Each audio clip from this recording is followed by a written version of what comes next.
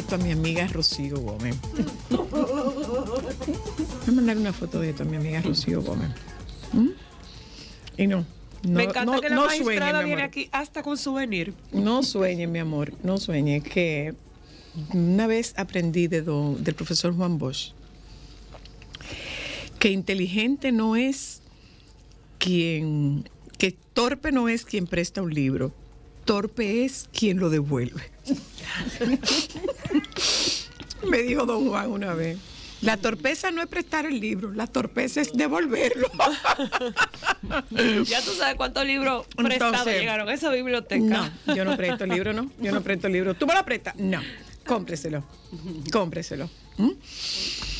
A lo largo de la historia, a propósito de mi risa, a lo largo de la historia, solo los hombres han tenido el derecho de provocar la risa, de carácter subversivo e incontrolable.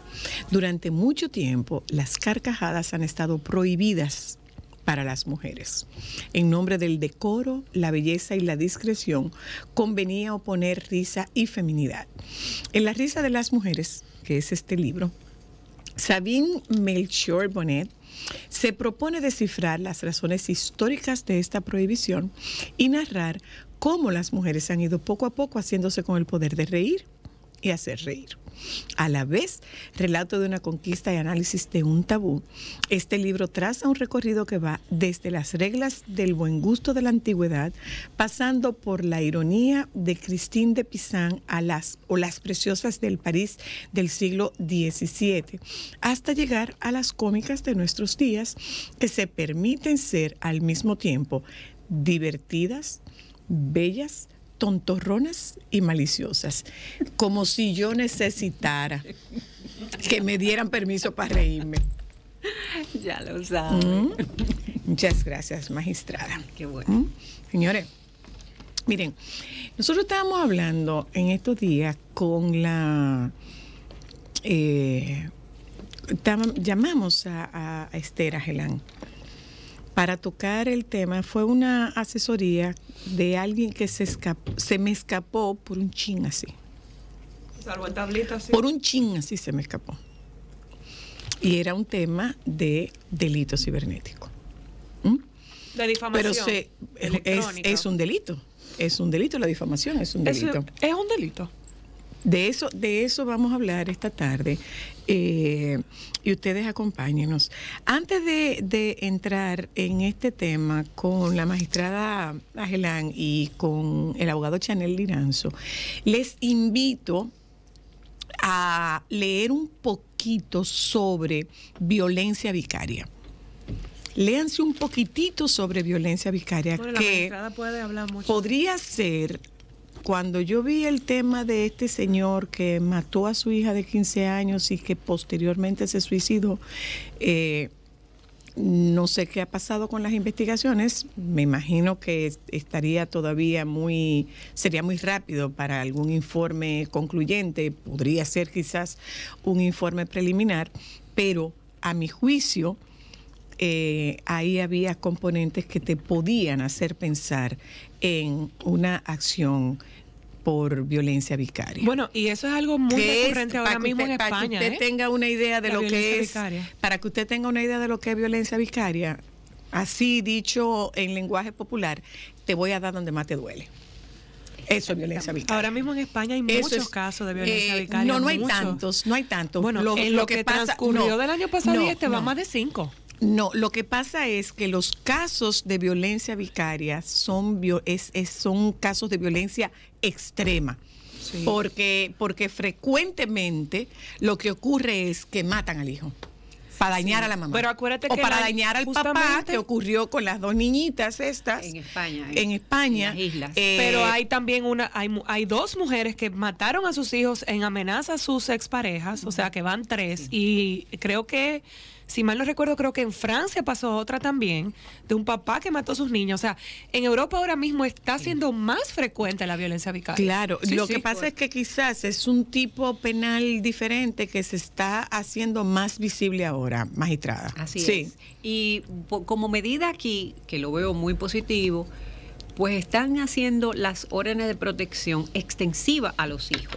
Ay, eso es un gran avance. Mm. Sí, eso es un avance por un lado y por otro lado eh, genera un conflicto de derechos. Claro, claro, por Eh, supuesto. Porque como padre Eh, tengo derecho a mis hijos. Exactamente. Pero eh, en la etapa inicial, una orden de protección inmediatamente notifican al colegio y a todas las instancias donde ese menor eh, pueda estar y se aleja al padre provisionalmente hasta que se determine pues la peligrosidad de, del Del agresor, padre estar si cerca del hijo. Que es una de las cosas que yo insisto, la necesidad de nosotros fortalecer la detección o la predictividad de riesgos, porque aquí todos los meten en el mismo en, el- en En el la mismo misma canasta. Entonces, hay, hay sistemas, por ejemplo, en España existe el sistema Biogen, que hay a través de tecnología una serie de información del agresor o del supuesto agresor que determina qué nivel de peligro. El nivel de riesgo. O sea, está clasificado. Correcto. Y eso tiene que ver con intercomunicación con las diferentes instituciones. Claro. Si, si hay una persona con problemas mentales, si hay un récord, inmediatamente conexión con salud pública, conexión con, si tiene antecedentes, su, su, incluso el estado financiero, eh, lo, lo- cualquier Consum- otra información, consumo de consumo de sustancia. sustancia. Otras de antecedentes, antecedentes. Así es. Y el sistema, ese sistema en España te interconecta. El otro día estaba yo en un foro sobre gobierno y tecnología, un GovTech, y, y hablaban de la necesidad de la interconexión en tecnología. Porque aquí cada órgano o cada institución trabaja como una isla, fortaleciendo su tecnología. Sin embargo, esa visión de interconectarse con otras instituciones mm, todavía no tenemos. Cada quien desarrolla tecnología muy avanzada, pero ¿cómo nos vamos a interconectar? Para nosotros poder tener información, pero eso es súper complejo, porque ahí tiene que ver mucho, un tema de protección de datos y todavía nosotros No tenemos que organizarnos en eso. Bueno, pero yo, yo les dejo abierta la, la posibilidad de que usted lea un poquito sobre el tema de violencia vicaria, que es un tema que me gustaría que pudiéramos tratar en algún momento más eh, inextenso, porque eh, como que se nos está presentando esta situación. Nosotros tenemos casos y son es, es eso, es que los casos de violencia vicaria son casos extremos. Sí. Son casos extremos que terminan con la vida de los hijos. Eh, no es que me llevé, me lo llevé, no es que lo sustraje y que no te los entrego. No, es que es que eh, terminan usualmente con la vida de los hijos. Sí, y la necesidad de tipificar esta conducta, que no es lo mismo que ¿En un qué-. ¿Dónde entraría? Bueno, a- para mí yo entiendo que debe tipificarse de manera particular, así como hay necesidad de tipificar de, ma- de manera específica El feminicidio. la viol- claro, el feminicidio, eh, también la violencia económica que no está No tipificada, está tipificada. la, violencia vicaria. Pero la psicológica estaba tipificada Sí, y la- la sacaron o, No, no, no. se mantiene. Está se mantiene, se Chanel, mantiene, se mantiene, se mantiene. Lo que pasa es que ahora mismo Es muy difícil, es muy difícil confirmarlo. todas esas conductas que no están tipificadas se subsumen en la violencia psicológica. Por ejemplo, eh, el- el ciberacoso, que no está tipificado de manera expresa, entonces se subsume en violencia eh, psicológica. Pero si estuviera tipificada la violencia económica, señores, e- e- esa es una de las violencias, porque se perpetúa, no hay una, una separación física, pero esa víctima Y muchas veces es más padeciendo difícil, esa eh, violencia. esa violencia económica muchas veces es más difícil de evidenciar, pudiera decirse. O sea, en términos ya, por ejemplo, de llevarlo al juzgado, es tu palabra contra la mía. ¿Cómo, cómo una víctima puede probar? ¿O qué tan fácil es probar su caso de que estoy siendo víctima de violencia económica? Bueno, hay, ah, yo creo que, bueno, eh, hay, hay varias formas de, de evidenciarlo porque eh, en, la, en la comunicación, en el flujo de la, del subsidio o eh, la manutención de los menores, eh, etcétera, etcétera, y todos los diálogos, o sea, o sea, sí habría forma. Lo que pasa es que al subsumirlo en una violencia psicológica, pues habría que ver qué tanto le afectó. Y todavía eh, eso queda en un ámbito muy subjetivo, a pericia psicológica, etcétera, etcétera. O sea que- Bueno, Qué complejo eh, es el miren, tema, yo, yo, ¿eh? yo quiero, eh, eh, eh, Esther acaba recién de llegar de, de foros internacionales donde se está debatiendo el tema del delito cibernético. ¿Qué ocurre? El ciberdelito, de repente como que nos quedamos en las estafas, nos podemos quedar quizás en el tema de acoso sexual, nos podemos quitar quizás en el, tra- en el tema de, de la trata. Sin embargo, O de el sustracción de información o de... eh, suplantación, de identidad. de identidad, pero, pero el ciberdelito abarca muchísimo más. Por ejemplo, el que tú, por citarte un caso, que yo vaya bloqueando tu acceso a mis distintas eh, a mis distintas plataformas y tú sigas buscando cómo abordarme en cartas o en correos o en mensajes que pueden ser intimidatorios, degradantes, todo esto cabe dentro de la categoría de ciberdelito.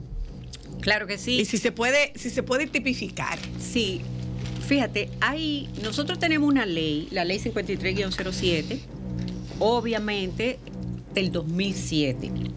De ahí para allá, pues eh, la, la ciberdelincuencia ha evolucionado como evolucionan eh, todos los las plataformas, como han Eh, evolucionado todas las plataformas. Entonces, esa ley que es muy buena, quiero que sepa que es una ley modelo en Latinoamérica.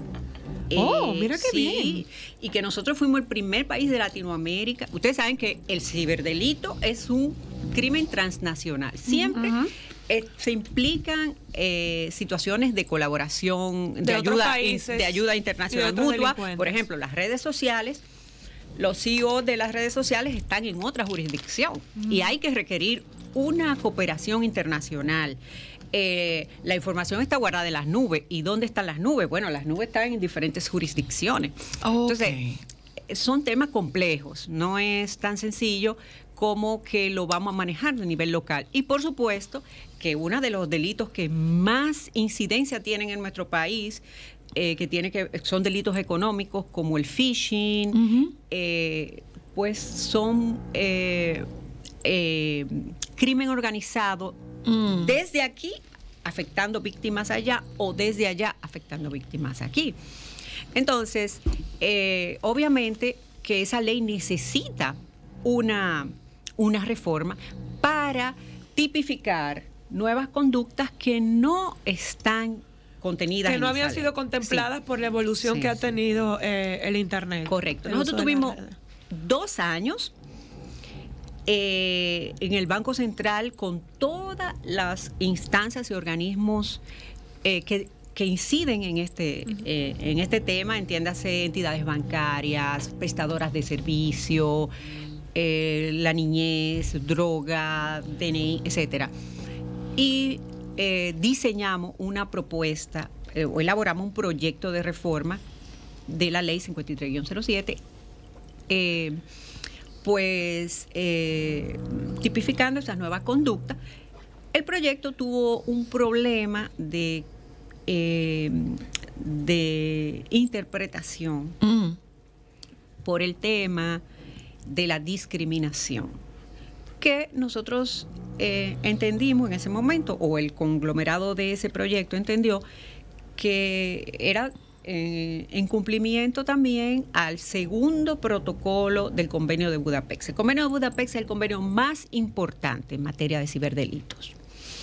Entonces, pues, eh, esa, eh, por eso no fluyó y llegamos a un acuerdo y ahora eh, Se está retomando. se está retomando el tema, pero es una urgencia, sobre todo para la protección de nuestros niños en algunas conductas, pero también para la protección de la mujer.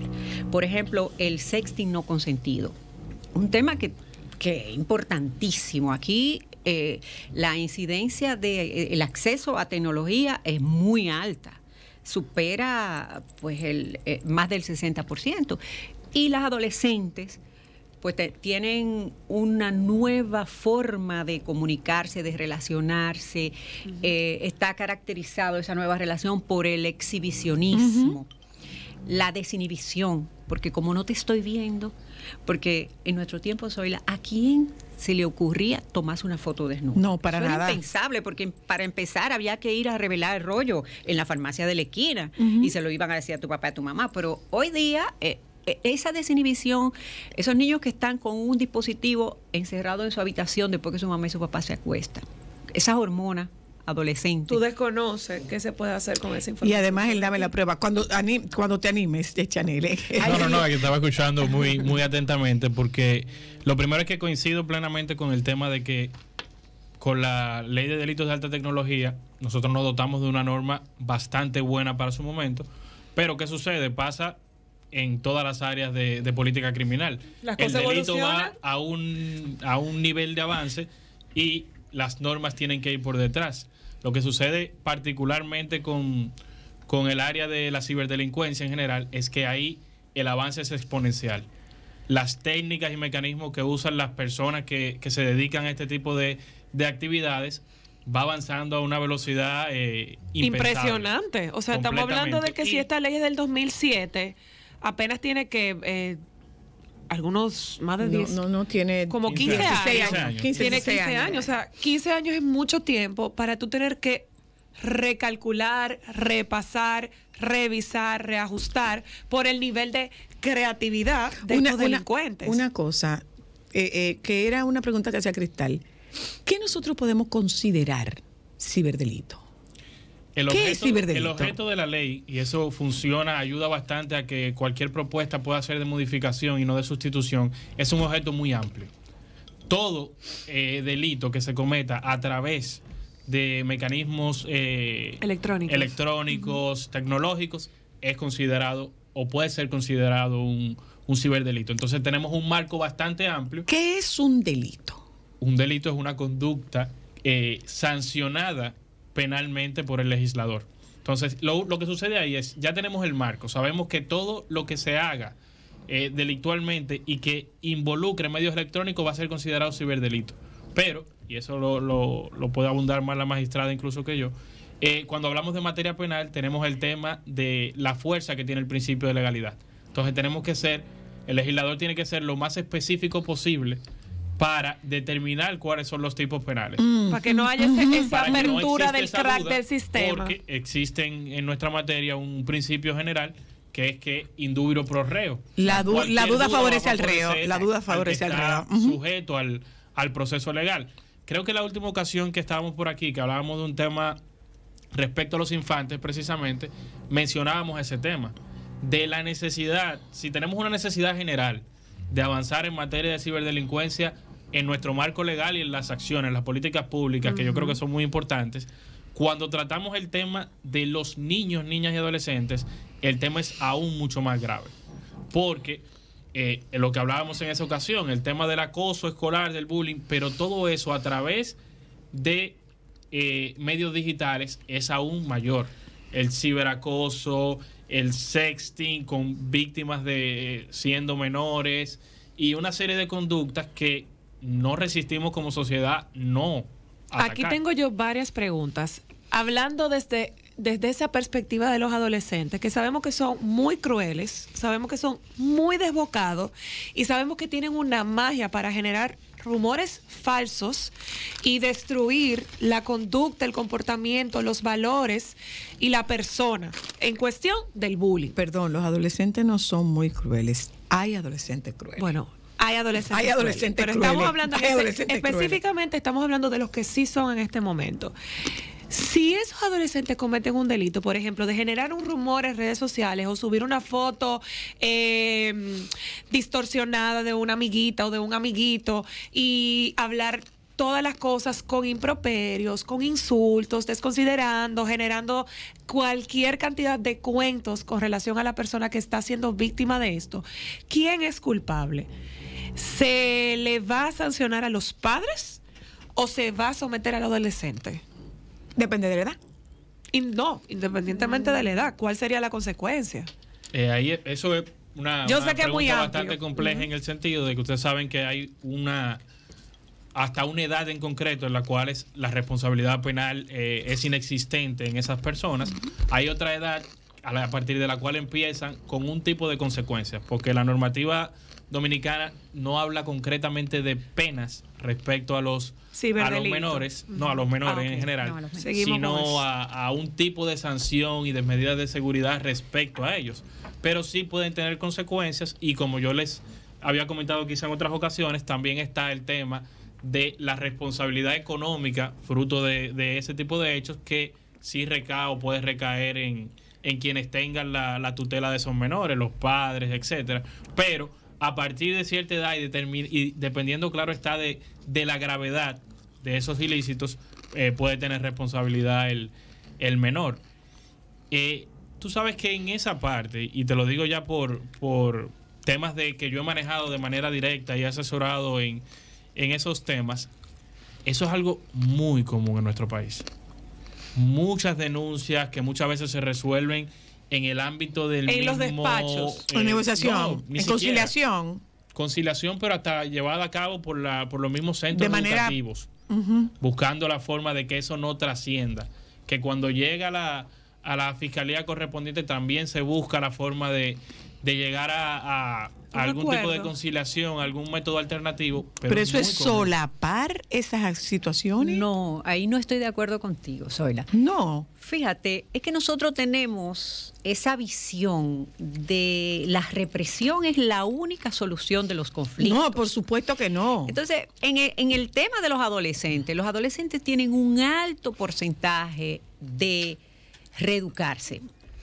El tema del ciberbullying es un tema complejo porque usualmente el acosador es un niño que tiene eh, deficiencia en su autoestima, des- eh, eh, sus padres no lo atienden.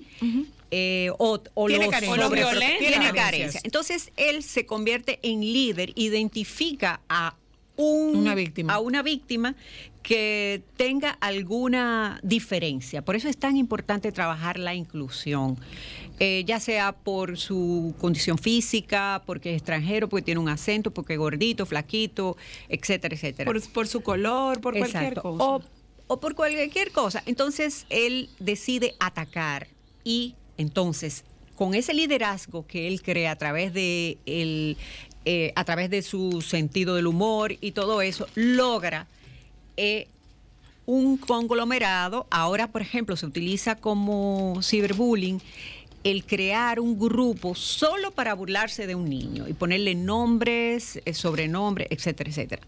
Entonces, ahí hay una responsabilidad también del plantel escolar. Nosotros tenemos o, eh, la necesidad de que los planteles escolares tengan regulación, porque el ciberbullying se hace más extensivo del el horario de clase. Antes Que era lo que yo decía la, Sí, la- la oportunidad ¿qué tanta anterior. O sea, no es que eso no pasó mientras estábamos en el colegio. No. no.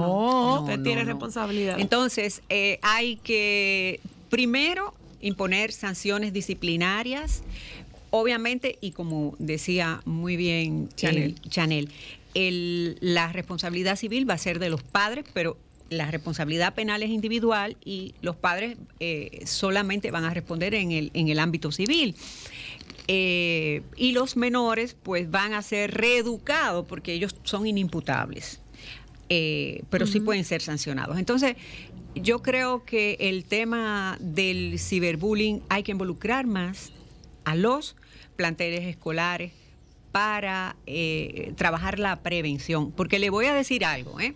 En mi experiencia, la, la persecución de esos, de esos delitos, que no está tipificado el ciberbullying de manera expresa. No. ojo. Pero cuando se llama a, va, por ejemplo, el DICAT al plantel escolar, le dice al niño, bueno, eh, tienes que entregarme tu celular para sacarle evidencia. Entonces el celular no está a nombre del niño porque es menor de edad, está a nombre de los padres. Entonces, eh, Sí, hay todo un proceso que no se puede, no se puede volar. hay un proceso en la obtención de la evidencia que se torna complejo. Entonces, yo creo que eh, hay que fortalecer la Pero prevención. sirve mi celular si yo soy la víctima de ese ataque. Claro que sí, porque se va a identificar eh, a través de, de tecnología, a través del IP, desde dónde salió, quién salió, se puede determinar. Pero yo le voy a decir a ustedes, es complejo. La persecución del ciberdelito es compleja. O sea, no es tan sencilla como, como cualquiera en la cabeza pudiera tener. es costosa, es costosa y, Y es un proceso largo. y sí, es un proceso largo. La extracción de una evidencia te puede durar y eso tienen... Imagínense que Oh, oh. la evidencia digital aquí se utiliza para los delitos comunes. Donde quiera que hay un homicidio, etcétera, hay una hay un video, ¿verdad que sí? Imagínense la cantidad de trabajo que tiene el DICAT para eh, dar servicio No eh, de evidencia a la cantidad de casos. No Una territorio una cosa. nacional No, completo. Una, una cosa, eh, estas evidencias que, que se presentan, eh, ¿cuándo son aceptadas en un proceso? Estas pruebas, esta, esta, esta grabación que yo tengo de este mensaje que tú me enviaste, ¿cuándo se aceptan y cuándo no se aceptan? Mire, eso es más complejo de, de lo que nos podemos imaginar. Van a decir que siempre me pasa eso, pero actualmente yo estoy eh, asesorando una, una tesis de grado en Pucamaima respecto a la forma de incorporar pruebas digitales, Claro. porque es muy complejo. Nosotros tenemos un marco general. en- Pero es que tú no puedes decir que no, porque el video está ahí. Bien, pero, es ¿cómo obtuve el, cómo La forma de obtuve el tú video? Eso, de tú ¿Entiendes? certificar eso. Claro. ¿Quién te garantiza la Que eso no la- sea no editado, tocado, manipulado o manipulado? actuado? Correcto. La, la misma O sea, ¿cuáles son las características La- para aceptar o no aceptar? Mira, la evidencia eh, no es lo que le va a dar la certeza, si, no, no la data, sino la metadata, es decir, los datos de, lo- de, de la data. Es decir, eh, esa información, cuando usted en un correo electrónico que saca la metadata de un correo electrónico que te va a decir el día, la hora, el IP de donde salió eh, esa información, información. el trayecto que hizo y, por supuesto, los peritajes forenses que tenga que hacer eh, el DICAT o el INASIF para eh, dar certeza. O sea, no vale que tú lleves un papelito de un WhatsApp de que, mira, esto me lo mandó. Porque tú lo puedes llevar. y, pero yo te voy a impugnar esa evidencia como contraparte y te voy a decir, mira, Tú no eso a mí tienes no me dice probar. nada. Tú- eh, ese, ese, ese WhatsApp no salió de mi celular, no lo dije yo, esa no es mi voz, si es un mensaje de voz, o no está esa evidencia. Tiene que primero llevarla al LICAT para certificar esa información de dónde Y salió. eso va a tomar un tiempo. Y cuando, y cuando hablamos de las redes sociales, pues hay que solicitar la cooperación internacional. Vamos a de las hablar redes de sociales. las redes sociales, sobre todo. Antes, antes de ir a, a- a las redes sociales, yo quiero que, que nos detengamos un poco en eso que puede ser un acoso. O sea, yo terminé esa relación, no quiero tener ningún tipo de contacto con esa persona, sin embargo, esa persona insiste, me escribe, me contacta por un lado, me contacta por el otro lado, me manda mensajes, me insulta, eh, me agrede verbalmente por escrito y realmente yo puedo sentirme como con las manos atadas. Eso es ciberacoso. El ciberacoso es un hostigamiento. Un hostigamiento que se caracteriza por la permanencia, la frecuencia y la insistencia. Entonces, el ciberacoso aquí no está tipificado de manera expresa, pero eh, se subsume dentro de la violencia psicológica. Y tiene, y por eso la necesidad de tipificarlo, porque fíjate la gravedad, que no solamente el acoso es directo, sino a través de terceras personas. A veces eh, una mujer víctima de violencia que se encuentra en una condición de vulnerabilidad eh, se siente amenazada, asustada, hasta por los likes que le dan a una foto, a una Sí, publicación. sí, Sentir esa presencia de ese hostigador que está pendiente de todo lo que, todos los pasos que tú das en el ciberespacio. Y nosotros, nosotros permanecemos parte del día en el ciberespacio. Eso es en las así. redes No, no, no, yo diría al revés. La mayor parte parte, de- permanecemos parte del día mundo fuera fuera, del, fuera fuera del- es. ciberespacio. ¿eh? Así es. Entonces, eso sí está, eso sí es considerado como hostigamiento. Sí, es el ciberacoso, exacto. Cuando el hostigamiento se hace a través de tecnología, pues se convierte en el ciberacoso, que ha sido una conducta que han ido tipificando los países de Latinoamérica, en España en el 2015, o sea, se ha ido tipificando frecuentemente, no es algo, es, No es decir- inusual. Exactamente, es algo nuevo. Y nosotros lo tenemos en el proyecto para eh, que sea de manera expresa tipificarlo, tipificada porque ese hostigamiento tiene eh, elementos constitutivos diferentes claro. que de manera particular, exacto, debería ser eh, tratado por el legislador en un tipo, como un tipo penal, porque el daño emocional que ocasiona ese hostigamiento donde tú te sientes vigilada, Que tú no puedes mover un paso. acechada, vigilada, maltratada. que incluso te hace modificar tu, tu cotidianidad en aras de tu prevenir. O sea, baja el perfil, pero ¿y por qué yo tengo que bajar el perfil? Porque yo tengo que dejar de hacer lo que yo he hecho habitualmente. Tú te abstienes de, de Te- llevar la vida normal. Y lo que se te recomienda es que tú bajes el perfil Claro. para que te protejas a propósito de esa, esa visión que, que tenías tú, Esther, de la prevención. O sea, tú estás llamada a, a protegerte. Y eso definitivamente genera una carga de estrés que repercute no solamente en tu cotidianidad, repercute en tu, en tu estado de ánimo No, y en tu salud. Reduce, a fin de cuentas, el de tu libertad. tu libertad. Exacto. El, eh, Y es una violación de un derecho fundamental. Claro que sí, Eh, va- ahora es. sí, nos vamos tengo- a publicidad y usted dice las preguntas de pregunta redes al aire. sociales. Para favor. mí, yo creo que es súper importante que ustedes expliquen lo severo y peligroso que son las redes sociales, porque la gente tiene que saberlo. Y la otra pregunta es, ¿qué pasa legalmente de mis derechos contra todo aquel que ejerce su derecho de la humilde opinión en las redes? Vamos a publicidad. Eh, señores, nosotros tenemos al, al- tenemos a Chanel Liranzo y a la magistrada Esther Agelán Casanova.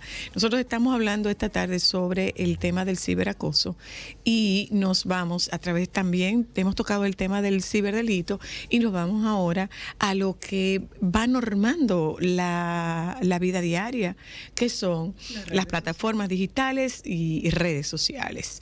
Eh, habíamos hablado nosotros aquí de estas, estas estafas que se producen en nombre del amor, que tienen sede en Ghana. Es una compañía, bueno, esta particularmente tiene sede en Ghana y cumplen horario de trabajo de ocho horas. Los, los, eh, los amantes, los enamorados. Eh, hay una señora en España que creo que esta es española, o es- o es- bueno, sí es española, que según ella ya tenía una relación con Brad Brad, con Pitt. Pitt. Ay, Ella su tenía una relación con Brad Pitt. Bueno, pues ahora apareció otro caso en España.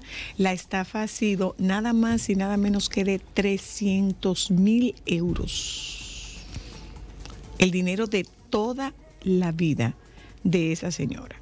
Entonces, eh, no nos quedemos quedar en el tema de esto del amante perfecto que te escribe, que necesita que tú le mandes, que nos vamos a ver y que tú voluntariamente que tiene un problema. envías ese dinero. eh, generalmente es un tema del aeropuerto que perdió el avión, que su tarjeta de crédito no, que su tarjeta de crédito no, no pasa, que le deposite, que le compre, que le compre, que yo te lo repongo para que nos conozcamos. Entonces, en esta búsqueda de pareja a través de todas las oportunidades que ofrecen las plataformas digitales, las apps de citas, pues acabo de encontrar el amor de mi vida. El amor de mi vida va a vaciar las arcas de tu vida. Eso es lo que va a pasar.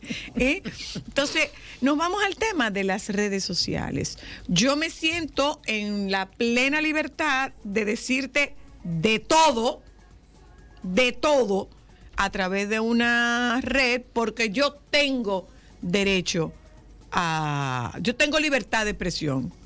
Sí, yo tengo libertad de expresión. Se quedaron unas preguntas Sí, hechas. la, la primera pregunta eh, era para que nuestra audiencia sepa qué tan peligrosa puede convertirse o puede ser una red social.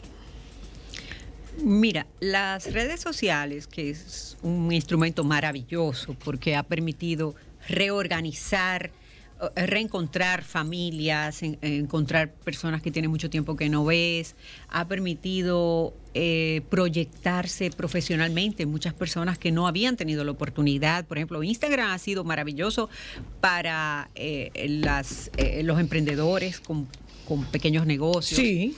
Pero a su vez, eh, las redes sociales, pues, han sido, eh, eh, han tenido un boom y las personas no toman las precauciones necesarias. Y ahí insisto con el término exhibicionismo. Ha generado un cambio social que eh, te obliga o te hace eh, tu dependencia de tu aceptación social de lo que tú, de, tu- de los likes o de la cantidad de personas que, que tú Que llegues a la que alcanzar y que te sigan. Entonces, eh, ahí es el punto, en primer lugar, donde hay que trabajar. Las personas tienen que tener la precaución, porque si, si esto está sucediendo ahora, estoy feliz, estoy en una boda, estoy bella, ¿qué necesidad tengo yo de esa necesidad, esa ansiedad de yo publicarlo ahora mismo. Yo lo puedo publicar, pero no hoy, dentro de una semana, que ya tú llegaste, que nadie te pueda dar ese seguimiento. Eso por un lado. Y por otro lado, esa necesidad de informar en- de manera inmediata lo que yo como, dónde estoy, con quién me junto, lo que yo pienso. O sea, ese, ese, ese exhibicionismo, esa desinhibición La inmediatez. de, de- en, en ese momento inmediato, pues eso te convierte en una persona vulnerable. Y la, eh, la ciudadanía entiende que los mecanismos de represión son fáciles, y vuelvo y le insisto, para que tengan una idea, para que una, eh, una red social eh, otorgue la cooperación internacional donde certifique que esa red la utilizó tal correo y que ese correo eh, estuvo y se usó de, de tal o cual IP, ese fue el trayecto, que sería una evidencia correcta para poder, para eh, una Para persecución. someter. En primer lugar, no tenemos muchas conductas tipificadas. Tenemos la difamación injuria tipifi- tipificada. Sin embargo, donde se encuentran alojadas las Informaciones. la, eh, la CEO de esas redes sociales no está tipificada y para que haya una ayuda legal mutua, eh, pues tiene que estar tipificada en ambos países. Sobre todo porque como en, en un momento conversábamos tú y yo y la gente no sabe, o sea, esto es algo que trasciende internacionalmente porque la sede de esos lugares de los cuales nosotros pudiéramos captar esa evidencia para nuestro caso no están aquí. Entonces nosotros tuviéramos que cumplir con, con cómo ellos manejan las leyes o existen algunos convenios internacionales que nos ayuden a nosotros, por ejemplo, en, esa, en ese aspecto. Claro que sí, existe un, eh, un, un convenio muy importante que es el convenio de Budapest, que ahora recientemente eh, pues ha emitido un segundo protocolo para facilitar eh, la ayuda legal de la evidencia digital. Entonces, Mm. eh, eh, Desglosa eso, ayuda legal de evidencia digital. Sí. Está buena esa, ¿eh? Mutual Legal. Assistance, la asistencia legal mutua. Entonces, eh, para que, para proveerte una información, el Convenio de Budapest ha creado un órgano que se llama 24-7, que en cada país designan una autoridad central y eh, colaboradores. Por ejemplo, la autoridad central aquí está en, en el PEDATEC o- y en la Policía Nacional, el DICAT. Entonces, esa ayuda la se solicita, pero esa ayuda es, podríamos decir, eh, de manera amigable. O sea, no hay ahora, a partir del segundo protocolo del Convenio de Budapest, es que se han establecido, se han establecido, eh, establecido plazos. Pero ustedes pueden eh, ver precedentes de que duran seis meses para darte respuesta. O sea, o sea, un que- proceso muy largo. correcto. Y si tu vida está en peligro, y- y voy, voy, voy- voy por ese lado, eh, Wow. voy, voy por ese lado, eh, eh, Chanel, porque tú estás en ejercicio, Esther no está en ejercicio, Esther está más como técnica que, que en el ejercicio de la cotidianidad de- del derecho. Eh, en ese sentido, ¿cómo vamos nosotros de jurisprudencias con relación a, a casos de difamación y de, de acoso, de ciberacoso? ¿Cómo vamos nosotros? Yo, yo no sé si tú recuerdas aquel caso de esta chica que le hace que 10, 10 años, Natalia creo que se llamaba, que fue un tema de que le filtraron unas fotografías y que sí hubo, sí hubo, creo que si no es él, es uno de los primeros, es uno de los primeros casos que fallaron a favor de, de- de la víctima, que se pudo demostrar que había habido, que había habido un delito a través de, creo que fue una filtración de unas fotografías. Mira, eso primero quería conectarlo con el tema de la dificultad por el tema de la transnacionalidad. O sea, que involucre actores y demás que estén en diversas jurisdicciones es un problema, hasta para el mismo tema de la cooperación. Pero es un problema mayor para cuando se dan las situaciones, como el ejemplo que, que ponía Zoila al inicio, respecto a un esquema de negocio, por así decirlo, Ajá. desde otro país con víctimas aquí, por ponerles un ejemplo. Que es lo mismo. perfecto, y, y- y me- exacto. Es perfecto porque te permite, primero, que yo como, como ciberdelincuente tenga una especie de anonimato delante de, de mi víctima, sienta que no, como no tiene ese contacto físico, no va a poder llegar a mí y todas las trabas que hay para llegar a eso. O sea, es por lo que nosotros vemos y, y me van a atacar en la calle, pero es por lo que vemos que aquí los famosos chiperos están campantes mostrando sus lujos y sus y sus beneficios porque las víctimas de la mayoría de esos grupos No son están en. República Dominicana no, no, atacan a personas en el extranjero, eh, a cuentas y a, a factores económicos fuera de.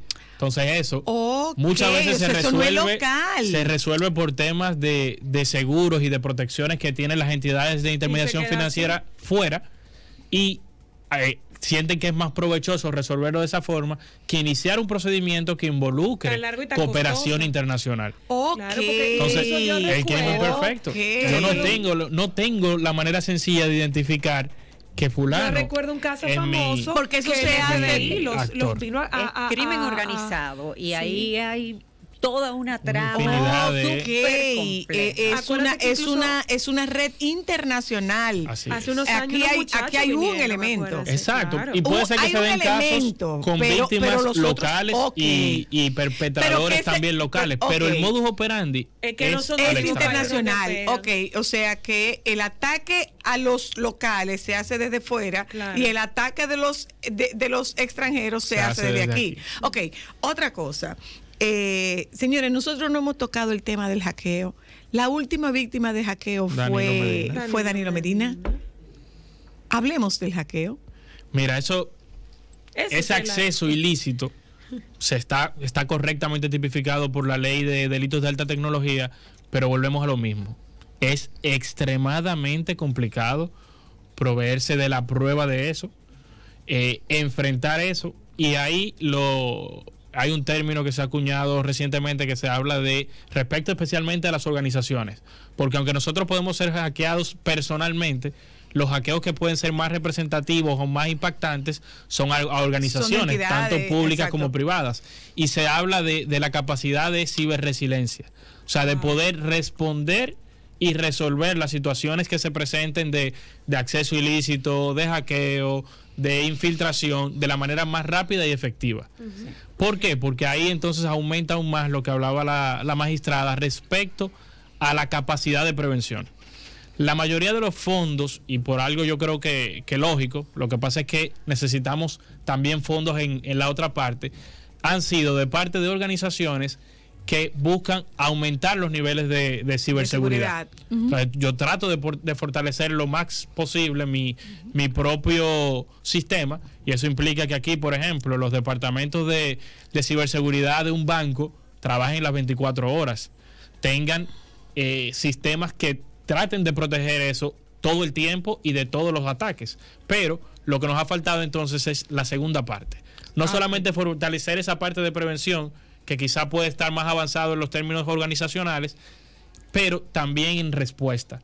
Porque mientras sigamos teniendo un- unos tipos delictuales como los ciberdelitos que tienen tan alto nivel de impunidad, tú estás incentivando al, delito que mismo. Tú dices, mira, gire para lo- allá". el mismo comentario que hiciste cuando te hacía el comentario de, lo- de los famosos chiperos, es que el crimen perfecto. Entonces, ¿por qué no me voy a, a involucrar en este tipo de actividades cuando el rédito es tan alto? Primero, Ahora yo voy a preguntar una chance cosa. Con lo que dure el proceso, hasta de irte del país tranquilo, cambiar de domicilio. ¿Qué hago? de- Y ahí ¿Cruzo los brazos? No. ¿Qué Conecto- hago? ¿Cruzo Sí. los brazos? Conecto en Eh, cuanto a eso y en cuanto a los casos que me, que me preguntabas ahí al inicio. Yo hacía Eh, la pregunta de, o sea, yo me siento difamada y tú, eh, tu argumento es que tú tienes derecho a tu opinión. Tú tienes todo el derecho del mundo a tu opinión ahí- y a tu libertad de expresión.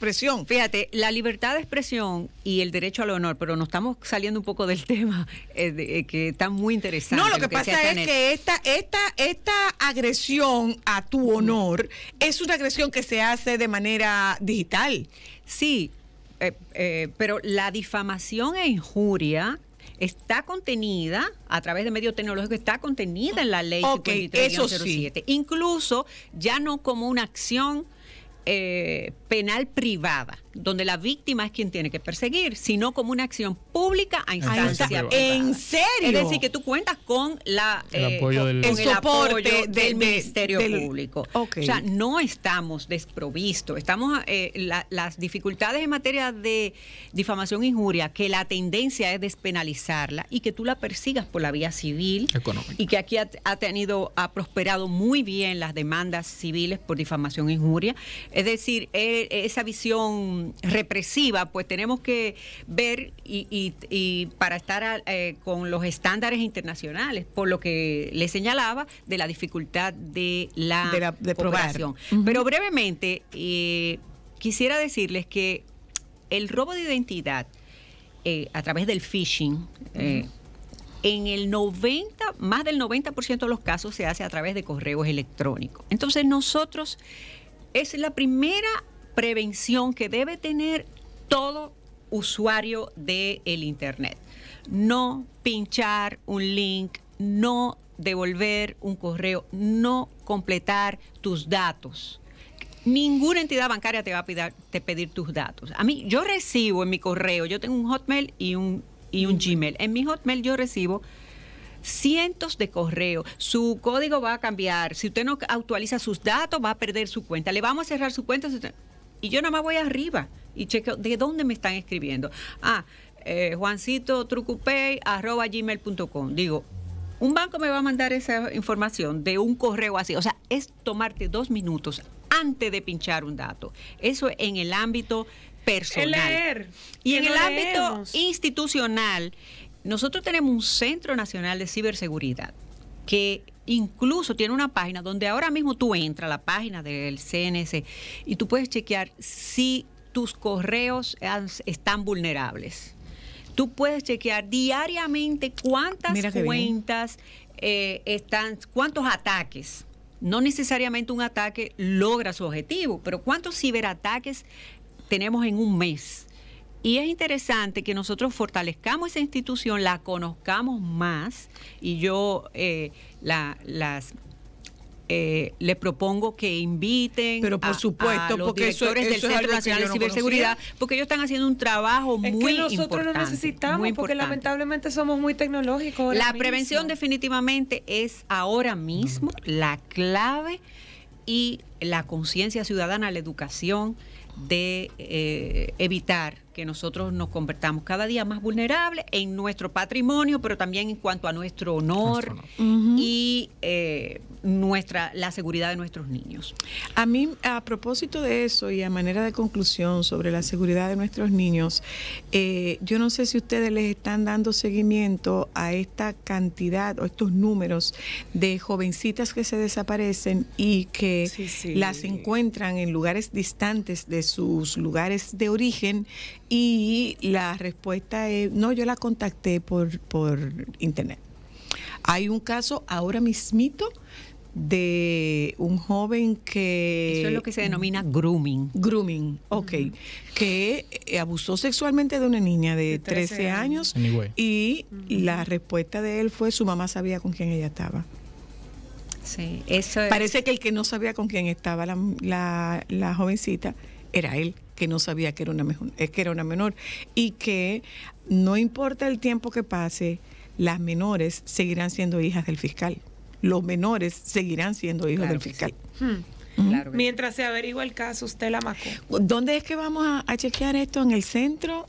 Centro Nacional de Ciberseguridad, CNC, que fue creado en el 2018, el Centro Nacional de Ciberseguridad, y ellos tienen una página donde tú puedes verificar, tú pones tu correo y dices si tu correo se encuentra en condición de vulnerabilidad, si ha sido utilizado, si ha sido hackeado o las claves, o si tus claves han sido eh, vulneradas, o sea, utilizadas. Si tú tienes una clave vulnerable que recomienda que tú Que la cambies. la cambies. Mm, correcto. Bueno, eh, pues Muy bien. muchísimas gracias. Demasiado Y interesante. sumamente interesante, bueno. señores.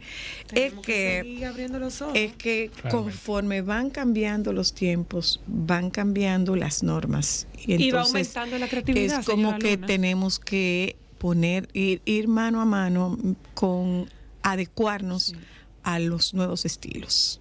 ¿Mm? Totalmente. Gracias. Gracias Gracias. Chanel. Gracias. Un Esther. placer, como siempre, Eh, compartir con. le esperamos tenerlos de vuelta muy pronto. audiencia. Nos Claro vamos, sí. señores. Nos juntamos con ustedes mañana. Aquí está. Hoy es jueves, ¿verdad? Sí. No ha llegado el viernes. Joan, quiero, quiero viene. el jarrito mañana. Mañana que es viernes. Nos juntamos con ustedes mañana. Quédense con los compañeros del Sol de la Tarde, por favor.